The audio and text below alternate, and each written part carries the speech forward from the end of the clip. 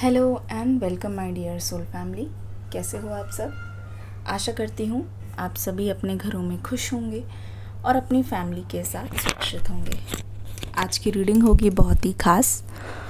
देखते हैं, महसूस करते हैं कि आखिरकार आपके पर्सन की करंट फीलिंग क्या है।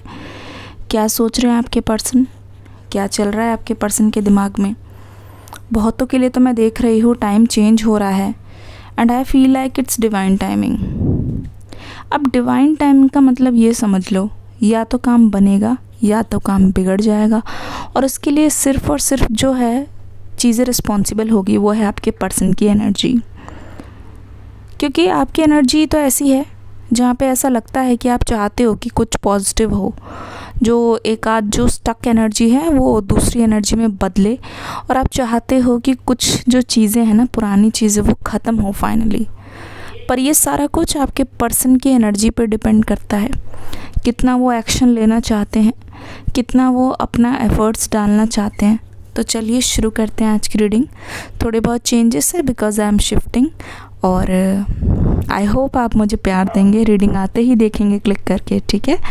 और थोड़ा सा टीम भी चेंज हो रही है तो थोड़ा सा चेंजेस आएँगे ओके थंबनेल में या फिर कुछ भी पर आपको बिल्कुल क्लिक करके देखना आते ही। तो देख लीजिए किस तरीके से अगर आपको रीडिंग मिस भी हो जाना तो चैनल पे आके देख लिया करो खुद ही। समटाइम्स इट हैपन्स कि नोटिफिकेशन नहीं आती। देखो, पहली बात तो ये, ऐसा लग रहा है कि कोई सेलिब्रेशन हो रहा है आपके घर पे या आपके आसपास, क्योंकि हो सकता है जन्माष्टमी आने वाली है, उसके एक्साइटमेंट हो, ठीक है? मैं देख रही हूँ जैसे जैसे जन्माष्टमी आ रही है ना, आपके मन में कहीं ना कहीं, भले ही वो चीज़ चेंज हो रही हो, चाहे नहीं हो रही हो, मन में कहीं ना कहीं ये चीज़ चल रही है, ये चीज़ आ रही है कि कुछ तो पॉजिटिव होने वाला है। काफ़ी टाइम से ऐसा आपको लग रहा है। Am I right comment section में लिखो पॉजिटिव मैं समझ जाऊँगी आप क्या कह रहे हो, है ना? कुछ ना कुछ पॉजिटिव चेंजेस आने वाले हैं, जिसकी वजह से आपको भी लग रहा है कि हाँ शायद इस बार बात बन जाएगी।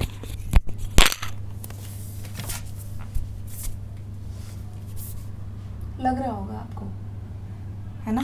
डेफिनेटली लग रहा होगा। और आपको ये भी लग रहा होगा कि कुछ ना कुछ करके ना आपकी पर्सन से बात हो ही जाएगी।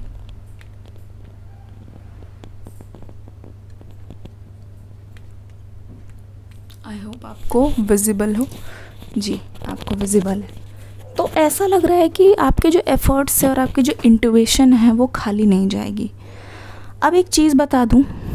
ऐसा लग रहा है ना कि आप अपने पर्सन से ज़्यादा, उन लोगों पर ज़्यादा खफा हो, उन लोगों पर ज़्यादा गुस्सा हो, जिसकी वजह से जो एक तरीके से कारण रहे हैं आप दोनों की सेपरेशन का। जिनकी वजह से ये सारी दिक्कतें, जिनकी वजह से ये सारी प्रॉब्लम आपको फेस करनी पड़ रही है। आप इसको लेके बहुत ज़्यादा चिंता में हो। आपको ऐसा लग रहा है कि चीज़ें ठीक नहीं हो रही है। क्यों नहीं हो रही है? इसलिए नहीं हो रही है क्योंकि ये जो पर्सन है इन्होंने थर्ड पार्टी की बात को सुना है। थर्ड पार्टी की हाँ में हाँ मिलाई है। आपको गुस्सा तो बहुत आता है, लेकिन आप कुछ कर नहीं सकते। क्योंकि आप चाहते नहीं हो अपना गुस्सा निकालना। क्योंकि आपको भी पता है कि गुस्सा वहाँ निकाला जाता है जहाँ पे कुछ बोलने का या कहने का कुछ फ़ायदा हो। जहाँ पे कोई बेनिफिट ही नहीं है तो वहाँ पे गुस्सा निकाल के क्या फ़ायदा? ठीक है, आपने इसलिए इस पर्सन को कहना छोड़ दिया है। अब इनकी हिडन एनर्जी पता है क्या बोल रही है? अब इस पर्सन को भी ना दिखाई देने लगा है कहीं ना कहीं कि थर्ड पार्टी को खुशी सी हो रही है। बहुत खुश है थर्ड पार्टी आपको अलग करके। ऐसा लग रहा है इट्स लाइक कि कोई जश्न मनाया जा रहा है। थर्ड पार्टी को ऐसा लग रहा है कि वो अपने मकसद में कामयाब हो गई। कभी कभी पता है किसी को फ़ायदा हो चाहे ना हो, बस किसी को अलग करने भर से ही ना उनको मतलब दुनिया भर की ना सारी खुशियाँ मिल जाती है। वही चीज़ आपके पर्सन के साथ हो रही है। आपके थर्ड पार्टी जो है आपके पर्सन की लाइफ में, ठीक है? और ऐसा नहीं है, ये कोई अनजान है, ये बहुत करीबी है। मैं बताती हूँ क्यों ऐसा हो रहा है। कहीं ना कहीं यहाँ पे ऐसा हो सकता है उन लोगों ने किसी और को सोच रखा हो आपके पर्सन के लिए। और आप बीच में आ गए हो। तो इनसे ना मतलब देखो, प्यार एक ऐसी चीज़ है, लोग बहुत खुश होते हैं कि चलो ऐसा हो रहा है, पर कुछ लोगों से ये चीज़ बर्दाश्त नहीं होती। बात ही है, कुछ लोगों से ये चीज़ बिल्कुल भी बर्दाश्त नहीं होती। तो इसी चक्कर में ना लोग एक दूसरे का नुकसान करने के लिए निकल जाते हैं। वही चीज़ आपके पर्सन के साथ हो रही है। ठीक है ना? ये चीज़ जान लो। नुकसान होने भर से ही वो खुश हो जाते हैं, अलग करने भर से ही। अब ये नहीं दिखाई दे रहा कि आपके पर्सन की क्या हालत है। अब ये नहीं दिखाई दे रहा कि ये रिलेशनशिप कितना ज़्यादा आगे जाने वाला था। इसमें कितनी सारी चीज़ें हो सकती थी, आप दोनों हस्बैंड वाइफ बन सकते थे। आपकी फैमिली होती, बच्चे होते, काफ़ी सारे प्लान थे एक साथ। परिवार खुश रहता, आपके पर्सन खुश रहते, इतना नहीं देखते। बस करना है तो करना है, किसी भी तरीके से। ये एनर्जी बहुत ज़्यादा डिस्टर्बिंग नज़र आ रही है। और ये चीज़ आपको बहुत ज़्यादा तकलीफ़ देती है। आपको पता है, सबसे ज़्यादा बुरा किस बात का लगता है? सबसे ज़्यादा आपको बुरा इस बात का लग रहा है कि बाकियों का तो छोड़ो।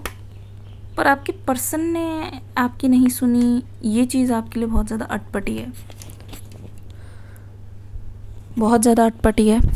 आपके पर्सन ने आपकी बात को नहीं माना, ये चीज़ आपको बहुत परेशान करती है।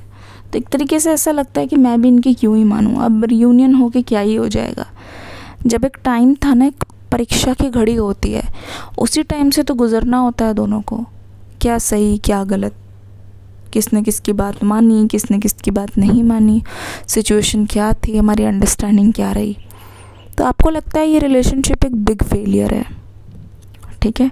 इन टर्म्स जहाँ पे परीक्षा की घड़ी आती है, जहाँ पे एक फ़ैसला लेना होता है ना कि क्या सही है, क्या गलत है, आपको लगता है ये रिश्ता फेल हो चुका है? किस किस को ऐसा लगता है, लिखिए फेल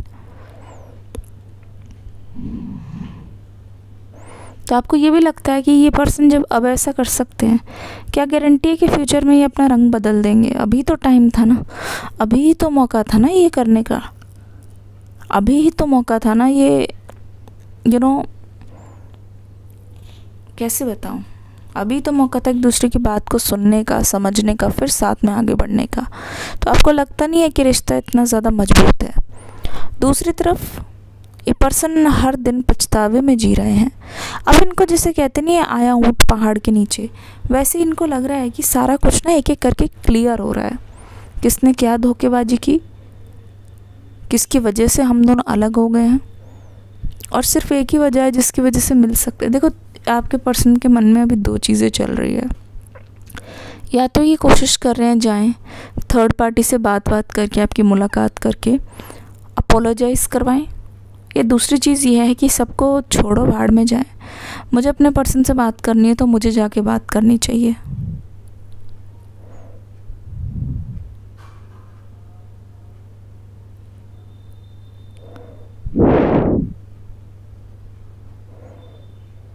ऐसा ये सोच रहे हैं। ठीक है? आपको हीलिंग देने की कोशिश कर रहे हैं। जैसे कहते हैं एक पॉइंट पे महसूस होता है कि अगर ये चीज़ मेरे साथ होती तो मेरा कितना ज़्यादा दिल दुखता। वही चीज़ मैंने किसी और के साथ की है। तो मैं गुनहगार हूँ। ठीक है, मैं गुनहगार हूँ चीज़ों को सही करने की कोशिश। दूसरी चीज़ और, ये पर्सन ज़्यादा किसी को बोलते नहीं है, लेकिन मुझे ऐसा लगता है कि थर्ड पार्टी को इन्होंने बोल दिया है।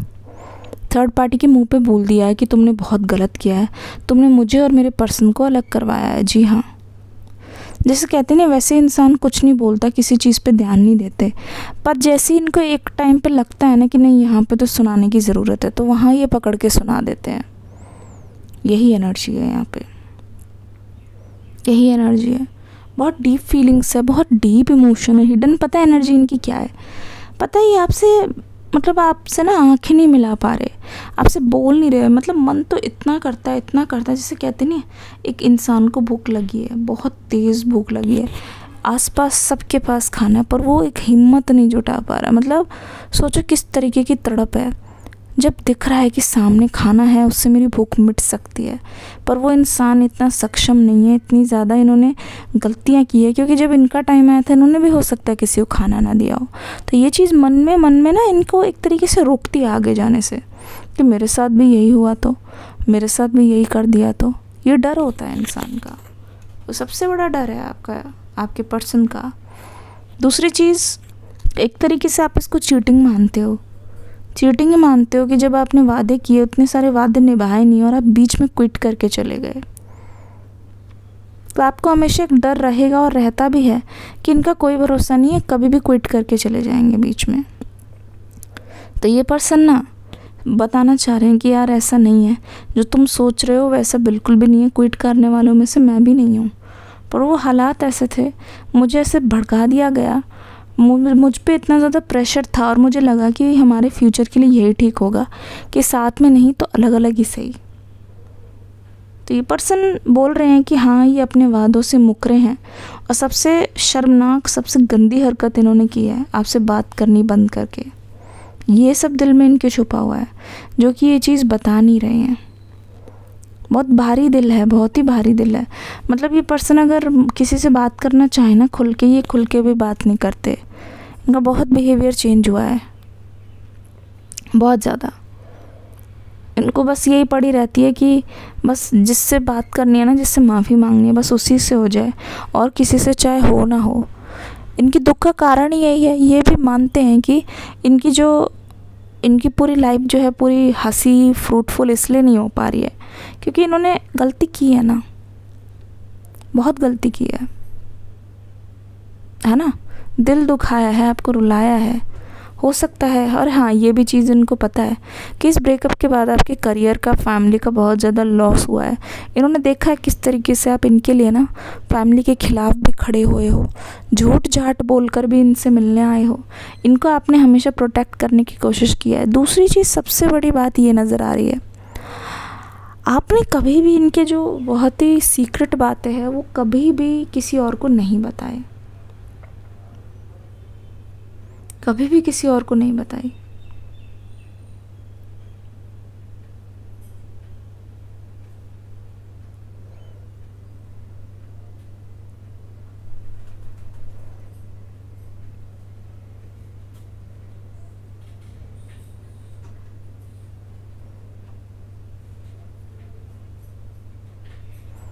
किसी को भी नहीं बताई।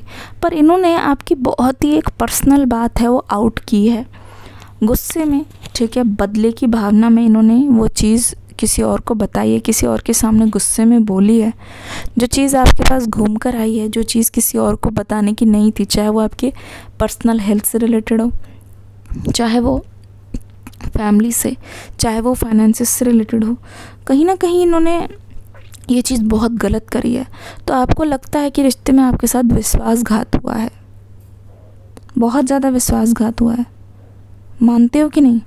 कमेंट सेक्शन में लिखो चीटिंग एक तो थर्ड पार्टी की मानना, आपके सीक्रेट्स आउट करना, बीच में छोड़ के जाना मतलब क्या क्या नहीं हुआ।